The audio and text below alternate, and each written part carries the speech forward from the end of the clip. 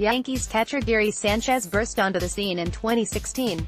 It immediately felt like the great Bambino had woken up from the grave and walked into Yankee Stadium. In 53 games, Sanchez slashed .299, .376, .657 while hitting 20 homers with 42 RBIs and 34 runs scored in just 201 at-bats. He had a WAR of 3.0 while playing in only a third of the season. However, Sanchez's numbers have dipped since his debut year. The Yanks need Sanchez to step up on both sides of the ball in 2019 and reach the potential he once flashed. In his first full season, Sanchez's slash line understandably dropped to .278, .345, .531, though he did manage to hit 33 homers with 90 RBIs in just 471 at-bats. His 4.1 WAR was among the league leaders for catchers. Unfortunately, in 2018, his numbers regressed to a slash line of .186, .291, .406, as Sanchez finished the campaign batting under the Mendoza line.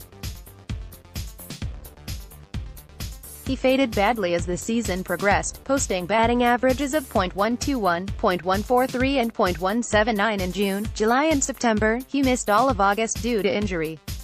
If his stats continue to drop, Sanchez will have morphed into another version of Greg Bird, the Yankees' oft-injured yet talented first baseman. The problem with Sanchez is that his defensive struggles have affected his hitting, or vice versa. In 2016, he threw out about 40% of base runners. Last season, that number fell to 30%. The key for Sanchez in 2019 is getting off to a good start and maintaining consistency throughout the year. No one is expecting him to put up numbers as he did during his rookie campaign. But he needs to be confident at the plate and make a conscious attempt to apply plate discipline in his at-bats. When Sanchez gets ahead in the count at 2-0 and 3-1, his batting average goes to .333 and .500 while slugging over 1.100. When seeing more pitches, Sanchez increases the probability of putting the ball in play and striking out less he hits below .200 when he falls behind the count at 1-2 and 0-2.